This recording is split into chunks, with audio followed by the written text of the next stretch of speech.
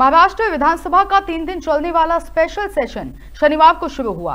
Pro tem speaker ने सबसे पहले सीएम देवेंद्र फडणवीस, दोनों डिप्टी सीएम एकनाथ शिंदे और अजीत पवार ने विधायक पद की शपथ दिलाई और आज सभी दो सौ अठासी विधायकों को शपथ लेनी थी।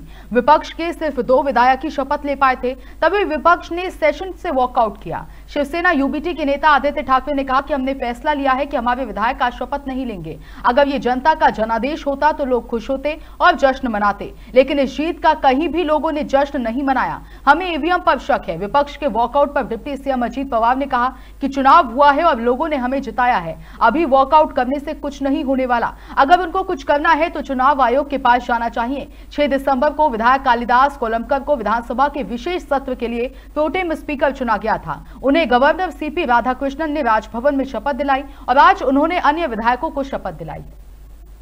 आज बहिष्कार किया है, इसी का एक ही कारण है, अगर आप देखें तो मार्केटवाड़ी में डेमोक्रेसी को मारा जा रहा है। ये डेमोक्रेसी को ईवीएम के हिसाब से ईवीएम के माध्यम से हो, या फिर जो भी रिगिंग करे, उसके माध्यम से डेमोक्री कर रहे मौकरी कर रहे डेमोक्रेसी की। और यही जो मैंडेट है, ये मैंडेट न जनता का है, न महाराष्ट्र का है, ये मैंडेट ईवीएम का है, और ये मैंडेट इलेक्शन कमीशन का है हम यही बात करना चाहते हैं आज जो शपथ नहीं लिए इसी के लिए नहीं लिए क्योंकि आज जनता का आदर करना चाहते हैं जनता के जो मन में शंका उपस्थित है उसे उत्तर देना चाहिए।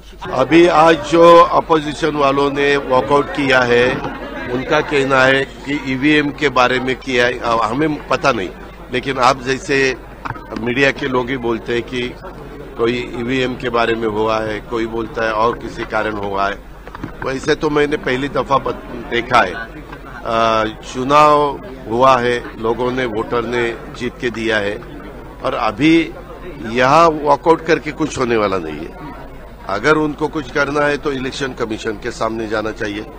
इलेक्शन कमीशन के तरफ़ से उनको अगर ऐसा लगा कि हमें न्याय नहीं मिल रहा है तो उन्होंने कोर्ट के स्टेप वहाँ वहाँ जाना चाहिए। ऐसा उनका काम है, नहीं।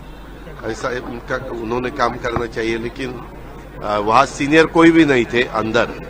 आ, आ, मैंने जब वो बाहर जाते थे तब मैंने पूछा कि क्यों जा रहे लेकिन सीनियर कोई नहीं था इसीलिए किसी ने बताया नहीं कि क्या कारण है। खाली उन्होंने बताया कि हमें बताया गया है कि अभी वॉकआउट करना है इसीलिए हम बाहर जा रहे हैं।